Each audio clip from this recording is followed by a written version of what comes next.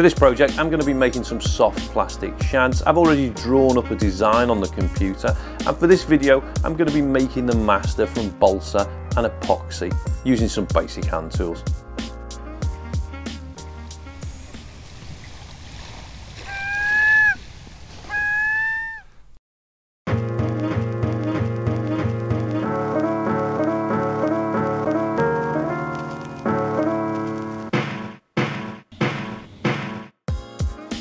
Just scribbling a bit of felt tip on the surfaces of this balsa wood.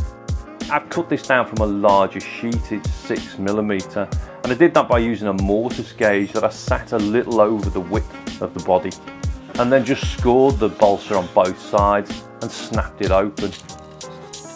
I also marked up a little over length, and then using a fine razor saw, just cut to length. The reason for the felt tip is I'm going to glue these two pieces together and that colour is really going to help me define the centre line before I start carving.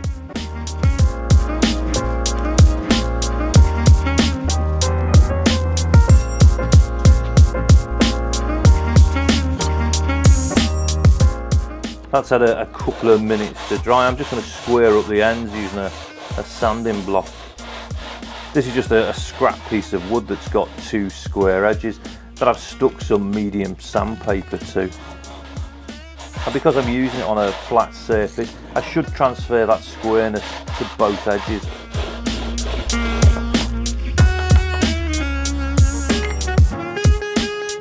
So to get started on the shaping, I've got a couple of templates that I've drawn up and printed out and I'm going to cut out the top view and literally stick it on top of the wood.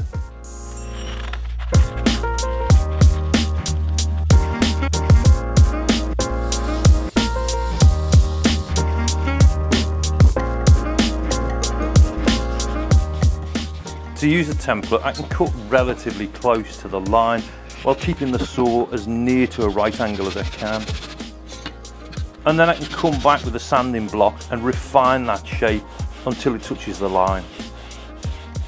Where the body tapers towards the tail, it actually curves in slightly.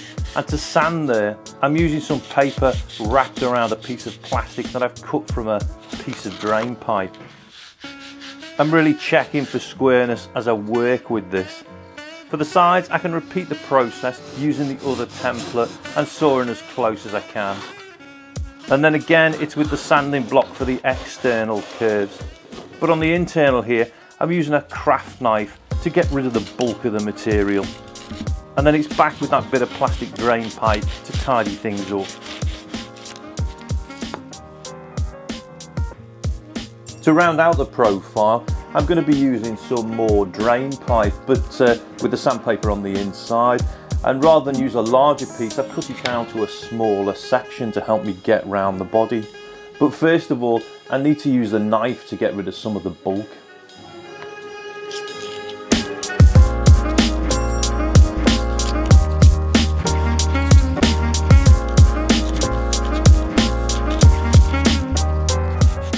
Want to make sure I'm taking an even amount off the top and bottom. And also, I only need to sand until that flat area in the middle disappears. This will take less time on the tail area where it's narrow, but towards the centre, I'll use the knife a bit more to save me sanding time.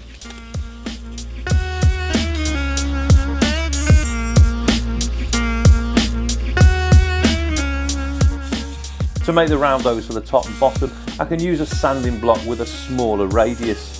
This is something I've made by just rubbing a drill bit wrapped in some sandpaper into a couple of bits of balsa until I've got a little channel that I can add some super glue to and stick in my final piece of paper. To use it I can just rub either side as kind of equally as possible and also check it for symmetry as I go along. To make the paddle for the tail, I've stuck together a couple of blocks of balsa wood and sawn one of the edges using a template to give me the kind of right angle. On the back I've stuck down another template which will actually give me the shape of the paddle and I really need to taper this down to where it meets the back end of the body. There isn't any real method that I know of doing this accurately so I'm really just going to wing it and work by eye.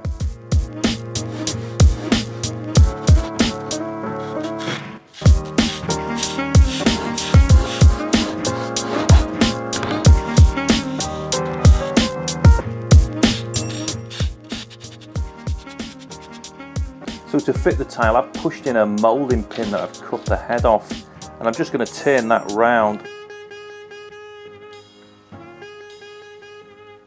and then add a drop of super glue to it.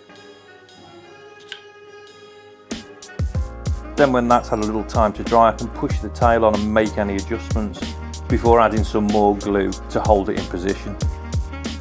And then it's just a case of sanding it in to get a neater joint.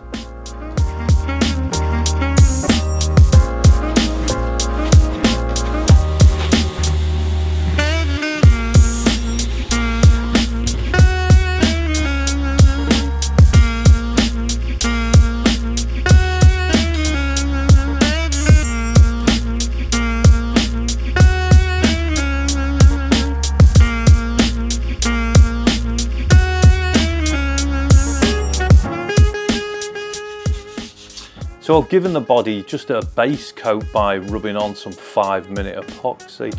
Um, I've left that for about an hour to cure and then I'm just giving it a bit of a sand back with some fine paper. This is really just to knock off any fibres that the epoxy's kind of stuck up. I need to lay down some heavier coats and I'm going to do that with a brush. To get the body to sit in the vise I've added a little nail to the front and this vise is great because it means when I apply the epoxy I can keep it rotating so it doesn't all sag and run to the bottom. The drawback with five minute epoxy is that five minute working time. So I need to work fast to get an even coat and also pop any bubbles. For this I'm wafting a little blow lamp over the surface. Generally the epoxy self levels if it's not too thick, so it kind of pulls itself into a smooth surface. But it seldom does that on the first brush coat, so I'm probably going to apply a couple more with half an hour spaces between them.